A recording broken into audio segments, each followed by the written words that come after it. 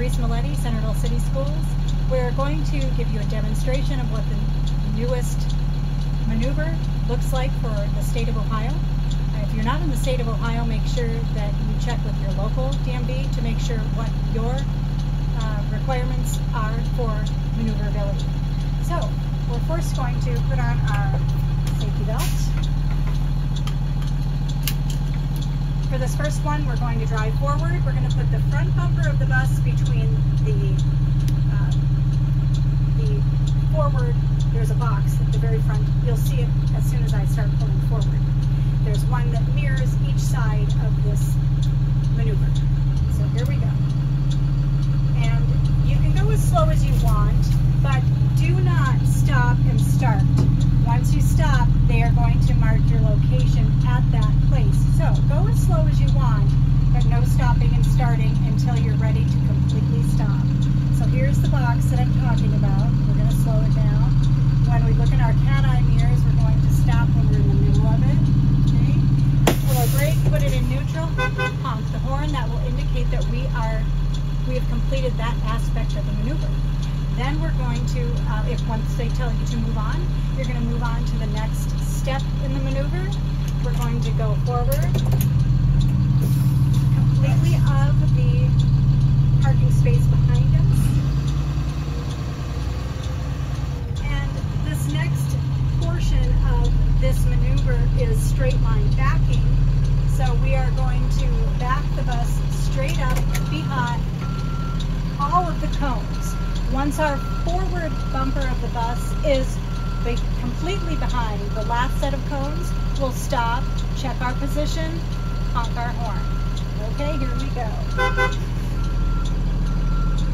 Hazards on, oblique before we back, just stay in between the cones, that's all we gotta do.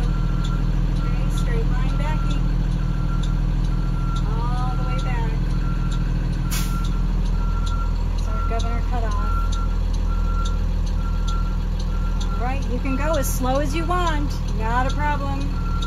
And we're not going to stop until we are completely behind this last set of cones. And once we're behind the last set of cones, we do want to check our final position. Okay, I can see the set of cones completely in front of me, so I'll pull the brake, put it in neutral, and I will honk my horn. That will indicate I'm done with this portion of the maneuver.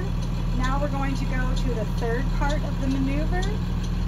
We're going to track our rear dual, okay? Tracking our rear dual, we will put the rear dual between the front cone, not the one way up there, but the front cone on the maneuver box. And there's a line to the left of it. It's three feet apart. We'll put the rear dual between those two markers. Here we go. All right. So, we cannot move over until the dashed lines begin. So we will start moving when our rear dual is at that middle cone. And then we will line ourselves up to make sure that our rear dual, not your front steer tire, your rear dual goes between that location. Okay? So once we see that cone, we will put it between the cone and that solid white line that's to the left of it. And that is our tracking portion of the maneuver. Now, we can see that there is that full parking space behind us. We're going to, for the last phase of this maneuver, we're going to put the bus back into the position that we just kind of completed, with the exception that this time when we're going back, we're going to stop our rear bumper in the back triangular box like we did when we were going forward. Here we go. Alright, so we cannot start going into that position until our rear dual passes that front first cone. Once we pass it, we can start moving into position. We want to see two of our cones over here and then start easing our way back into the box without hitting this cone here. Alright, and, and not encroaching on the right.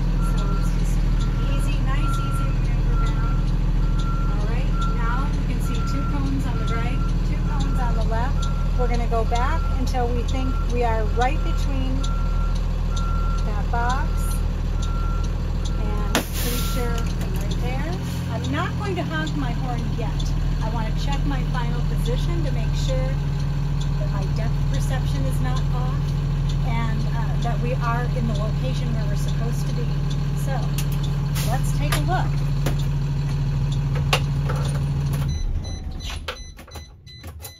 Okay, oops, open the door first.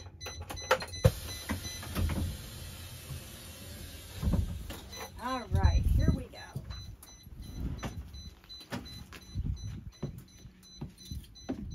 Make sure you hang, hang on to the rail, take your keys with you, take a walk back.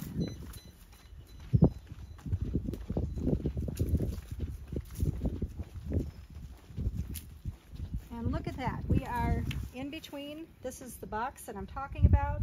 We are between the cone and the front rectangular box line, so we're good. At this point in time, I would get back on the bus and honk the horn. That is an indication that we are done with the entire maneuver. So with each section of the maneuver, you're gonna honk your horn, but I don't want you to honk your horn until you've checked your final position on this last portion of the maneuver.